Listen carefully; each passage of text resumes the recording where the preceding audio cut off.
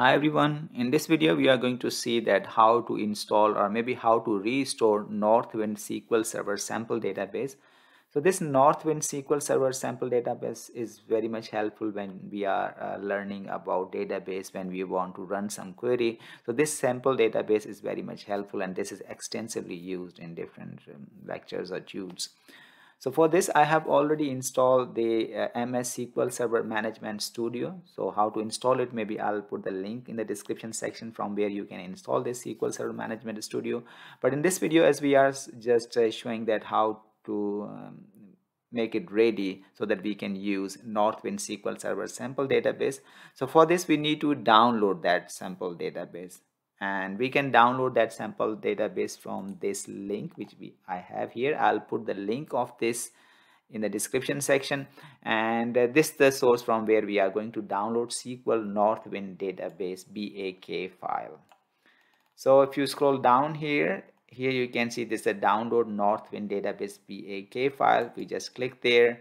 And now you can see I already downloaded before this but now you can see this is there. That's the file which we need. So when I click on this show in folder. So that is available in my downloads folder.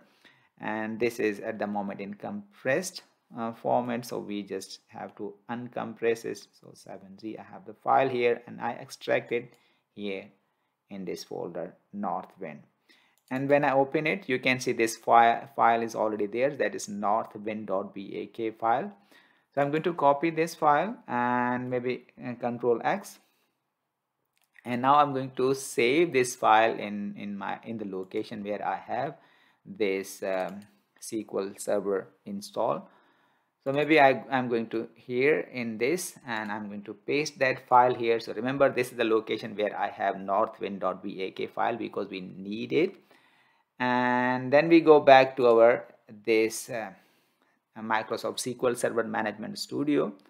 And here we have to click on this database. You can see on the left hand side we have database. So I click uh, sorry right click there and then we have to click on restore database. And then this window appears. And in this window in the source field we have to select device. And after that we have to click on this these three dots here.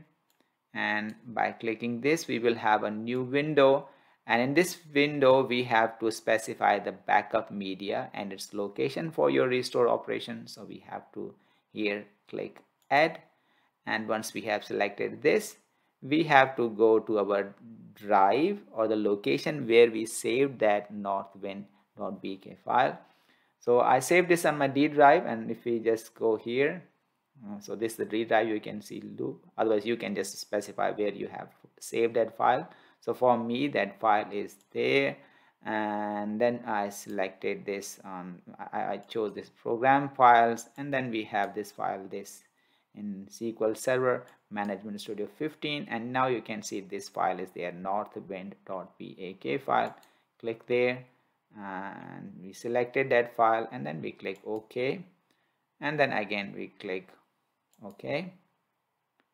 OK and now you can see this says this is processing and it says that database northwind restored successfully. Okay okay.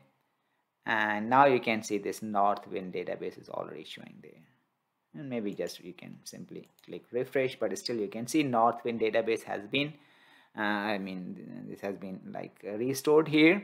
And then you click here on this plus sign you can see this the database diagram tables views external resources synonyms programmability and and service broker storage security these all things are there. If we click on tables let's say we have these all tables here. And I also uh, would like to show that how to run this query. So let's say we are interested in uh, seeing all the entries of this let's say products table so maybe we can run a query like this. So we have to click on new query. And here we can uh, say the select and select all for that we have to use this star. And then we have to say from which table let's say we are selecting orders table. We can say orders table. So this is the order table here. And then we just click on this execute button click there and now you can see this query has been executed and we have the result. Uh, as a result of this query we have this result here in this table and this table shows us all entries in the orders table. Right and this shows that uh, I don't know how many how many entries are there but you can scroll down here. It seems like 830 I think so. So in this way we can run some queries and in this way we can actually install or restore uh, Northwind SQL Server sample database in our uh, MS or Microsoft SQL Server Management Studio. So that's it for this simple video and thank you. Thank you very much for your time. Hope to see you in some other video. Thanks.